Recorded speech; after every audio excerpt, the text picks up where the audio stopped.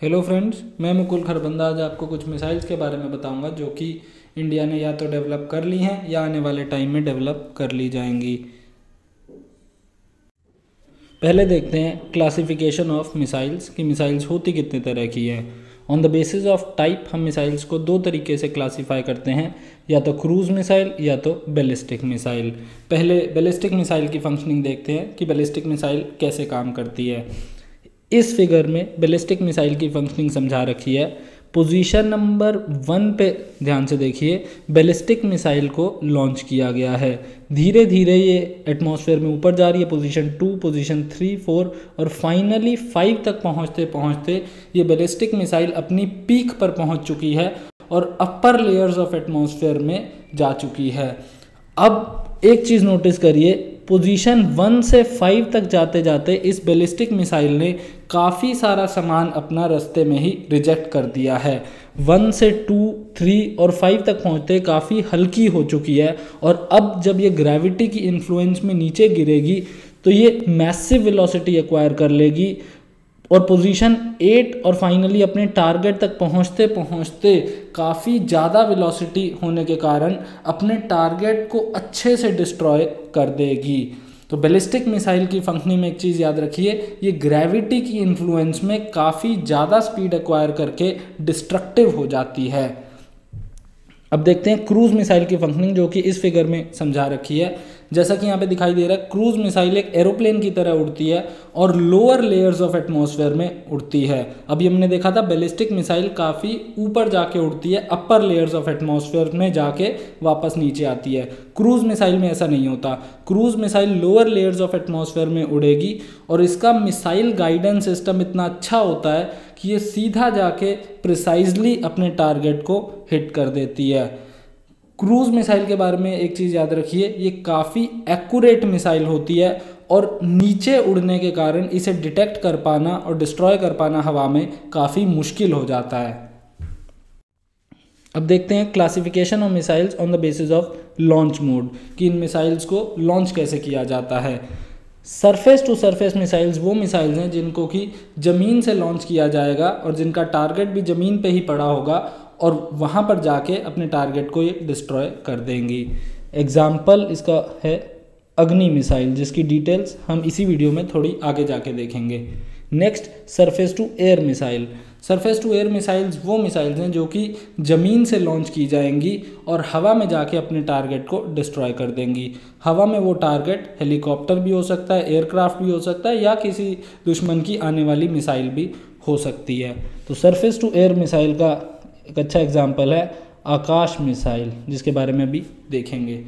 Next air to air missile, जो कि हवा में हेलीकॉप्टर या एयरक्राफ्ट से लॉन्च की जाएगी और हवा में ही अपने किसी भी टारगेट को डिस्ट्रॉय कर देगी। जैसे मैंने अभी बताया था, हवा में कोई टारगेट दुश्मन की मिसाइल हो सकता है, दुश्मन का हेलीकॉप्टर हो सकता है या कोई एयरक्राफ्ट भी हो सकता है। तो एयर टू एयर मिसाइल का काफ़ी अच्छा एग्ज़ाम्पल है, अस्त्रा मिसाइल।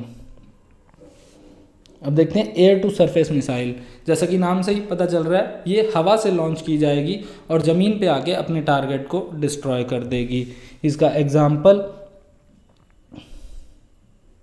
ब्रह्मोस मिसाइल काफ़ी इंपॉर्टेंट मिसाइल है, याद रखिए. डिटेल्स इसी वीडियो में आगे देखेंगे. नेक्स्ट एंटी टैंक मिसाइल नाम से ही पता चल रहा है, ये दुश्मन के टैंक को काफ़ी अच्छे से डिस्ट्रॉय कर सकती है. इसका एग्ज़ाम्पल नाग मिसाइल। अब देखते हैं classification of missiles on the basis of range short range missile वो हैं जो कि 1000 किलोमीटर से कम की रेंज में पड़े हुए अपने किसी भी टारगेट को डिस्ट्रॉय कर सकती हैं। मीडियम रेंज में रेंज थोड़ी सी बढ़ जाती है और वो 1000 से 3000 किलोमीटर तक के बीच में हो जाती है। इंटरमीडिएट रेंज मिसाइल्स 3000 से 5500 किलोमीटर के बीच में रखे हुए किसी भी टारगेट को डिस्ट्रॉय करेगी और इंटर कॉन्टीनेंटल रेंज की मिसाइल्स काफ़ी लंबी दूरी की मिसाइल्स होती हैं और जैसा नाम से दिख रहा है intercontinental missiles across the continents fire की जा सकती हैं और अपने टारगेट को डिस्ट्रॉय कर सकती हैं। इनकी रेंज काफ़ी लंबी 5500 किलोमीटर से ऊपर की रेंज वाली मिसाइल्स को हम इंटर कॉन्टीनेंटल रेंज की मिसाइल्स कहते हैं।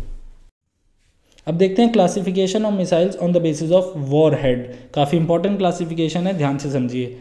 कन्वेंशनल वॉर हेड वो होता है, जो कि पुराने ज़माने से इस्तेमाल किया जा रहा है, और इसमें हाई एनर्जी एक्सप्लोसिव्स भरे होते हैं। हाई एनर्जी एक्सप्लोसिव्स का मतलब है वो विस्फोटक पदार्थ, जिसमें कि काफ़ी ज़्यादा एनर्जी होगी और वो अपने टारगेट को डिस्ट्रॉय करेंगे। स्ट्रैटेजिक मिसाइल्स में रेडियो एक्टिव मटीरियल होगा। न्यूक्लियर मटेरियल होगा जो कि फिजन या फ्यूजन रिएक्शन करके काफ़ी ज़्यादा एनर्जी रिलीज़ कर देगा और इतनी ज़्यादा वो एनर्जी हो सकती है कि कई शहरों को एक साथ बर्बाद कर सकती है। आगे देखते हैं। Integrated guided missile development programme 1980s में लॉन्च किया गया था ताकि हम कई सारी बैलिस्टिक मिसाइल्स अपने आप बना सकें।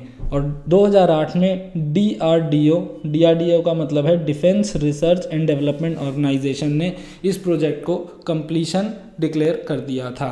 डॉक्टर अब्दुल कलाम साहब integrated guided missile development programme के आर्किटेक्ट थे और इन्होंने काफ़ी अहम भूमिका निभाई थी। पाँच मिसाइल सिस्टम इस प्रोग्राम के अंदर डेवलप किए गए। पृथ्वी मिसाइल अग्नि मिसाइल त्रिशूल, आकाश और नाग। इन सभी मिसाइल्स के बारे में इसी वीडियो में आगे हम देखेंगे। पहले देखते हैं अग्नि मिसाइल्स के बारे में। अग्नि वन, टू और थ्री हम इस वीडियो में नहीं डिस्कस कर रहे हैं। सीधा अग्नि फोर से स्टार्ट कर रहे हैं क्योंकि वो पहले तीन मिसाइल्स काफ़ी पुरानी हो चुकी हैं और अब एग्ज़ाम्स में आमतौर पर नहीं पूछी जाती। अग्नि फोर मिसाइल्स के फीचर्स देखते हैं। रेंज इसकी लगभग 4000 किलोमीटर की है और ये एक न्यूक्लियर केपेबल मिसाइल है। इसका मतलब अग्नि फोर मिसाइल न्यूक्लियर वॉरहेड को लेके जाके 4000 किलोमीटर तक के पड़े हुए अपने किसी भी टारगेट को अच्छे से डिस्ट्रॉय कर सकती है। अग्नि फाइव जब हमने डेवलप की तो इसमें हमने कुछ इम्प्रूवमेंट्स की अग्नि फोर से और इसकी रेंज बढ़ के पाँच हज़ार किलोमीटर से ऊपर तक की हो गई। और एक और ख़ास बात, इसमें भी न्यूक्लियर वॉरहेड लेके जाया जा सकता है, जो कि इस अग्नि फाइव मिसाइल को काफ़ी डिस्ट्रक्टिव बना देता है। एक चीज़ देखिए अग्नि सिक्स के बारे में, यहाँ पे क्वेश्चन मार्क है। क्वेश्चन मार्क का मतलब है, अग्नि सिक्स मिसाइल अभी अंडर डेवलपमेंट स्टेटस में है, अभी पूरी तरह से डेवलप नहीं की गई है, और इसीलिए इसके जो भी फीचर्स मैं बताऊँगा, वो सभी अनुमान लगाए जा रहे हैं कि ऐसा ऐसा अग्नि सिक्स में होगा। सही फीचर्स तो तभी पता चलेंगे जब अग्नि सिक्स मिसाइल पूरी तरह से डेवलप हो जाएगी। तो इसकी रेंज जो कि अनुमान लगाया जा रहा है, पाँच हज़ार किलोमीटर से ऊपर की होगी। कई असेसमेंट तो ये भी कहते हैं कि ये रेंज 8000 या इवन 10000 तक जा सकती है और जो कि इस मिसाइल को इतना लंबी दूरी का बना देते हैं कि यूरोप के कुछ शहर तक भी ये मिसाइल टारगेट कर सकती है। एक और टेक्नोलॉजी जो अग्नि सिक्स मिसाइल में उम्मीद की जा रही है, वो है multiple independent reentry vehicle technology M I R V technology M I R V technology का मतलब है, अग्नि सिक्स मिसाइल में से ही मल्टीपल मिसाइल्स निकलेंगी और वो मल्टीपल मिसाइल्स अलग अलग टारगेट्स को डिस्ट्रॉय कर सकती है। और जो कि M R M I R V feature Agni six missile को काफ़ी ज़्यादा डेडली बना देता है। अब देखते हैं पृथ्वी मिसाइल्स पृथ्वी मिसाइल्स में तीन वेरिएंट्स हैं, पृथ्वी वन, पृथ्वी टू और पृथ्वी थ्री। जैसे जैसे हम आगे बढ़ते गए, हमने पृथ्वी मिसाइल्स में थोड़ी थोड़ी इम्प्रूवमेंट की और पृथ्वी टू बनाई और फिर और इम्प्रूवमेंट करके पृथ्वी थ्री बनाई। अब देखते हैं इनके फीचर्स पृथ्वी वन में वॉरहेड का वेट वन थाउज़ेंड के है और रेंज डेढ़ सौ किलोमीटर की है। इसका मतलब पृथ्वी वन मिसाइल एक हज़ार किलो का वॉरहेड लेके डेढ़ सौ किलोमीटर तक की दूरी में रखे हुए किसी भी टारगेट को अच्छे से डिस्ट्रॉय कर सकती है। पृथ्वी टू मिसाइल में भले ही वॉरहेड वेट थोड़ा सा कम हो गया 500 हंड्रेड रह गया, पर रेंज अब इसकी ज़्यादा हो गई। इसका मतलब 500 के किलोग्राम के वॉरहेड को पृथ्वी टू मिसाइल 250 किलोमीटर तक की रेंज में पड़े हुए किसी टारगेट को आराम से डिस्ट्रॉय कर देगी। और एक खास बात की है न्यूक्लियर केपेबल मिसाइल है, इसका मतलब न्यूक्लियर वॉरहेड ले जाके अपने टारगेट पे रख, फेंक सकती है। नेक्स्ट पृथ्वी थ्री मिसाइल ये काफ़ी इम्प्रूव वर्जन है। वॉरहेड वेट 500 से हज़ार किलो और रेंज भी साथ ही साथ बढ़ गई साढ़े तीन सौ से साढ़े सात सौ किलोमीटर। तो वॉरहेड वेट भी ज़्यादा इसमें लेके जाया जा सकता है और रेंज भी ज़्यादा तक ये कवर कर सकती है missile next Dhanush missile Dhanush missile Prithvi three का ही नेवल वेरिएंट है। नेवल वेरिएंट का मतलब ये होता है कि अगर हम पृथ्वी थ्री मिसाइल में थोड़ी सी मॉडिफिकेशंस कर दें ताकि ये शिप में भी लगाई जा सके और शिप से लॉन्च किया जा सके, ताकि इसे इंडियन नेवी भी इस्तेमाल कर सके तो इसको हम कहेंगे naval variant of Prithvi three missile. तो धनुष मिसाइल कोई नई मिसाइल नहीं है, पृथ्वी थ्री का ही नेवल वर्जन है।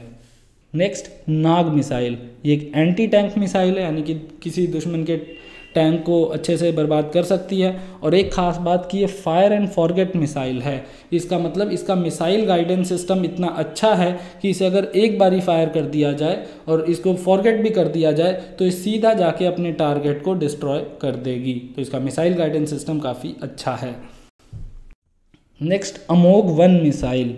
जैसा कि यहाँ पे क्वेश्चन मार्क से पता चल रहा है, ये मिसाइल अभी अंडर डेवलपमेंट है और अभी पूरी तरह से डेवलप नहीं हुई है। ये एक एंटी टैंक गाइडेड मिसाइल है, यानी कि दुश्मन के टैंक को बर्बाद करने के लिए इस्तेमाल किया जा सकता है और इसका मिसाइल गाइडेंस सिस्टम काफ़ी अच्छा है। Next Nirbhay missile. Long range subsonic cruise missile है। पहले सब सोनिक का मतलब समझते हैं। दो तरह की मिसाइल्स होती हैं, या तो सबसोनिक और या तो सुपरसोनिक सबसोनिक मिसाइल्स वो होती हैं जिनकी स्पीड साउंड से कम होती है और जिनकी स्पीड साउंड से ज़्यादा होगी, उनको हम सुपरसोनिक मिसाइल कहेंगे। तो निर्भय मिसाइल लॉन्ग रेंज की है पर साउंड की स्पीड से धीरे ट्रैवल करती है, इसलिए सब सोनिक मिसाइल है और साथ ही साथ ये क्रूज मिसाइल है। क्रूज मिसाइल के बारे में मैंने आपको इस वीडियो की स्टार्टिंग में बताया था कि ये प्रिसाइजली अपने टारगेट को डिस्ट्रॉय करती हैं और लोअर लेयर्स ऑफ़ एटमोसफेयर में फ्लाई करती हैं, जिसकी वजह से इनको डिटेक्ट कर पाना और डिस्ट्रॉय करना काफ़ी मुश्किल हो जाता है। साथ ही साथ ये न्यूक्लियर केपेबल मिसाइल है तो और डेडली हो जाती है और इसकी रेंज एक हज़ार किलोमीटर से ज़्यादा है। Speed less than Mach one से ट्रैवल करेगी, जिसका मतलब है साउंड की स्पीड से धीरे ट्रैवल करेगी, और इसीलिए ये सब सोनिक मिसाइल भी कही जाती है। Next, Shaurya missile. Surface to surface tactical missile है। टैक्टिकल मिसाइल का मतलब होता है एज अ टैक्ट इस्तेमाल की जाएगी किसी बैटल में और काफ़ी शॉर्ट रेंज की होगी। ज़्यादा लंबी दूरी तक शौर्य मिसाइल को नहीं लॉन्च किया जा पाएगा। इसकी रेंज 700 से 1900 किलोमीटर की है। और सुपरसोनिक मिसाइल है। अभी मैंने आपको सुपरसोनिक का मतलब बताया था। साउंड की स्पीड से ज़्यादा तेज़ी से ट्रैवल करने वाली मिसाइल को हम सुपरसोनिक मिसाइल कहते हैं। और ये मैक्स 7.5 की स्पीड से ट्रैवल कर सकती है। मैक्स 7.5 का मतलब है इस मिसाइल की speed 7.5 times speed of sound हो सकती है। तो साउंड की स्पीड से साढ़े सात गुना तेज़ी से शौर्य मिसाइल जाके अपने टारगेट को डिस्ट्रॉय कर सकती है। और क्योंकि ये न्यूक्लियर वॉरहेड कैरी कर सकती है तो ये मिसाइल और भी खतरनाक हो जाती अब देखते हैं प्रहार मिसाइल। ये एक surface to surface short range की टैक्टिकल बैलिस्टिक मिसाइल है। इन सभी टर्म्स के मतलब मैंने आपको भी बताया। सरफेस टू सरफेस का मतलब ज़मीन से ट्रैवल करेगी और ज़मीन पे ही अपने टारगेट को डिस्ट्रॉय करेगी। शॉर्ट रेंज की मिसाइल है टैक्टिकल और बैलिस्टिक मिसाइल है। रेंज लगभग डेढ़ किलोमीटर की है। तो प्रहार मिसाइल डेढ़ किलोमीटर तक के किसी टारगेट को डिस्ट्रॉय कर पाएगी। Next Akash missile. Surface to air missile है। सरफेस टू एयर मिसाइल का मतलब ज़मीन से लॉन्च की जाएगी और हवा में अपने टारगेट को डिस्ट्रॉय कर देगी। जैसा कि यहाँ पे इमेज में भी दिखाई दे रहा है, ज़मीन से लॉन्च की जा रही है और हवा में किसी टारगेट को डिस्ट्रॉय कर सकती है, जो टारगेट कोई एयरक्राफ्ट हो सकता है, हेलीकॉप्टर भी हो सकता है। रेंज इसकी लगभग पच्चीस किलोमीटर है। इंडियन आर्मी और इंडियन एयरफोर्स दोनों ही से इस्तेमाल करते हैं। और रिसेंटली हमने एक डिसीज़न लिया ताकि हम आकाश मिसाइल्स को एक्सपोर्ट कर सकें। इससे एक चीज़ आप नोटिस कर सकते हो कि अब हम, हमारी डिफेंस टेक्नोलॉजी इतनी सक्षम हो गई है कि हम डिफेंस इक्विपमेंट्स को एक्सपोर्ट भी करने लगे हैं, सिर्फ़ इंपोर्ट नहीं करते और बाहर के देशों को भी बेचने लगे हैं। अब देखते हैं बराक एट मिसाइल पहले तो बराक का मतलब देखते हैं। बराक का मतलब होता है लाइटनिंग तो ये बिजली की तेज़ी से जाके अपने टारगेट को डिस्ट्रॉय कर सकती है। सरफेस टू एयर मिसाइल है और इसकी रेंज 70 किलोमीटर से ऊपर की है। एक चीज़ ध्यान रखिए, इसको इंडिया और इसराइल ने जॉइंटली डेवलप किया है। दोनों के संयुक्त प्रयासों से ये बराक एट मिसाइल बन पाई है। इंडिया से डीआरडीओ ने और इसराइल से इसराइल एरोस्पेस इंडस्ट्रीज़ ने दोनों ने मिल के इस बराकेट मिसाइल को डेवलप किया है। हम इसके आगे देखते हैं, ब्रह्मोस मिसाइल। ये काफ़ी इंपॉर्टेंट मिसाइल है, ज़रूर याद रखिए एग्ज़ाम में पूछी जा सकती है। क्रूज मिसाइल है, जिसका मतलब है कि ये लोअर लेयर्स ऑफ़ एटमॉस्फेयर में फ्लाई करेगी एक्यूरेटली अपने टारगेट को डिस्ट्रॉय करेगी और इसको रेडार से डिटेक्ट कर पाना काफ़ी मुश्किल होगा। रेंज 290 किलोमीटर्स की और एक न्यूक्लियर केपेबल मिसाइल है। न्यूक्लियर वॉरहेड को अपने साथ लेके जा सकती है। एक चीज़ जो इस मिसाइल को और इंपॉर्टेंट बनाती है, ये मिसाइल शिप से भी लॉन्च की जा सकती है। एयरक्राफ्ट से भी लॉन्च की जा सकती है और ज़मीन से भी लॉन्च की जा सकती है। इस मिसाइल के बारे में एक और चीज़ याद रखिए, ये इंडिया और रशिया ने जॉइंटली डेवलप की है। तो इंडिया और रशिया की डिफेंस पार्टनरशिप जो कि काफ़ी साल पुरानी है, उसी का एक एग्ज़ाम्पल है ये कि दोनों देशों ने मिल इस ब्रह्मोस मिसाइल को बनाया है। नेक्स्ट देखते हैं Astra missile. Air to air missile है, हवा से ही लॉन्च की जाएगी और हवा में ही अपने टारगेट को डिस्ट्रॉय करेगी और इसे defence research and development organisation DRDO ने बनाया है। नेक्स्ट मीका मिसाइल नहीं, ये वाला मीका नहीं। लॉन्ग रेंज मिसाइल है एयर टू एयर और सरफेस टू एयर ऑपरेट कर सकती है। यानी कि एयरक्राफ्ट से भी इसको लॉन्च किया जा सकता है और ज़मीन से भी लॉन्च किया जा सकता है ताकि हवा में टारगेट को डिस्ट्रॉय किया जा सके। फायर एंड फॉरगेट मिसाइल है, यानी इसको एक बार फायर कर दिया जाए और फिर भूल भी जाया जाए तो अपने मिसाइल गाइडेंस सिस्टम के कारण, जो कि काफ़ी अच्छा है, अपने टारगेट को डिस्ट्रॉय कर देगी। एक चीज़ याद रखिए, इसे यूरोपियन कंपनी एमबीडीए ने बनाया है और रिसेंटली 2016 में ही हमने इसे अपने एयरक्राफ्ट्स मिराज 2000 एरोप्लेन से टेस्ट फायर किया था। तो ये रिसेंटली न्यूज़ में थी, क्योंकि इसको मिराज 2000 एयरक्राफ्ट से टेस्ट फायर किया गया था तो एग्ज़ाम में पूछी जा सकती है। Next K series missiles K series missiles में K one five K four mark one K four mark two और के फाइव ये सभी मिसाइल्स काफ़ी सीक्रेटिव हैं। इनके बारे में ज़्यादा इन्फॉर्मेशन रिवील नहीं की जाती है तो इनके बारे में ज़्यादा फीचर्स बाहर ओपन में नहीं होते हैं कि इनके क्या क्या पैरामीटर्स हैं, वो ज़्यादा नहीं पता होते किसी को भी। जो चीज़ें पता है उनमें से, ये एक सबमरीन लॉन्च्ड बैलिस्टिक मिसाइल है। यानी कि पानी के अंदर जो पनडुब्बी होगी, उसके अंदर से भी इसको लॉन्च किया जा सकता है। तो इसलिए इसको कहते हैं submarine launched ballistic missile S L B M इसका पहला वर्जन के वन फाइव न्यूक्लियर केपेबल है, साढ़े सात सौ किलोमीटर की रेंज है।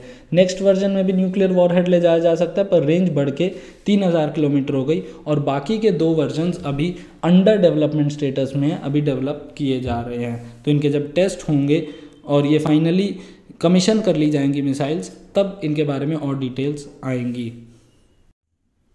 Next S four hundred Triumph ये एक एंटी एयरक्राफ्ट वेपन सिस्टम है, जो हवा में पड़े हुए किसी भी, हवा में उड़ रहे किसी एयरक्राफ्ट को भी डिस्ट्रॉय कर सकता है और आने वाली किसी मिसाइल को भी बर्बाद कर सकता है। और इसकी रेंज 400 किलोमीटर तक की है, यानी 400 किलोमीटर तक के किसी भी टारगेट को डिस्ट्रॉय कर देगा हवा में ही।